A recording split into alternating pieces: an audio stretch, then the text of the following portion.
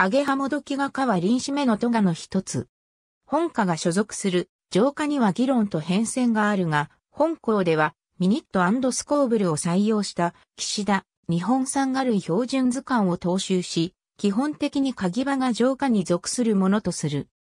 頭部に単眼を書くこと、前肢に公共との連結装置を書くこと、前肢 R 脈によって小室が形成されないこと、前肢 R5 脈が R2、3余脈から離れて M1 脈と接近することなどが本科の分類形質とみなされている。本科は臨死目の中では小さなトガの一つで、基地の種は30種未満とされる。分布は東洋区と旧北区アジアに限定される。ほとんどが中高生だが、夜間人口の明かりにも飛来する種も知られる。日本からはアゲハモドキ Epicopeia hainesii、オナガアゲハモドキ Epicopeia mencia、フジキオビ Schistomitra funeralis、キンモンガ Psychostrophia melanargia の4種が知られているが、このうちオナガアゲハモドキは、対馬から過去に幼虫が一度得られた記録があるのみで、ある。小さなグループだが成虫形態は多様で、他の様々な臨死類をモデルとした、ベーツ型擬態やミューラー型擬態環への関与の可能性が、しばしば指摘される。中でもアゲハチョウ科と、形態的によく似るエピカピア属は有名だが、擬態に関する科学生態学的な知見は不足している。幼虫期の解明はあまり進んでいない。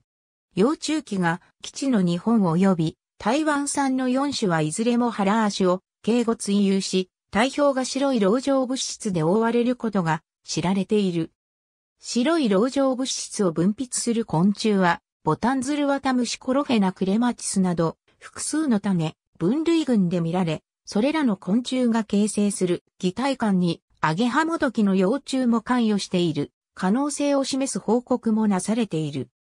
2011年時点で旧属20種が知られていたが、2017年にはベトナムから親族が、2019年から2020年には中国から数種が新種記載され、現在は従属30種近くが知られる。本科は長らくエピカピア属単型のトガとして扱われ、その他の属は、ツバメガ科あるいはフタオガ科エピプレミデに分類されていた。例えば、井上博士は、フタオガ科の会に、フジキオビア科、シスタミトリニーを設置して、フジキオビと金門画を含めたが、この赤は現在では本科のシノニムとなっている。現在の本科の分類は、ジョエル・ミニットによる整理を経たものである。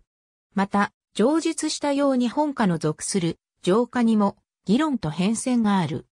主として形態的な知見に基づく分類の場合は、鍵場が浄化に含めることが多いが、近年の分子系統分析に基づく分類では、尺が浄化に含めることも多くなっている。ありがとうございます。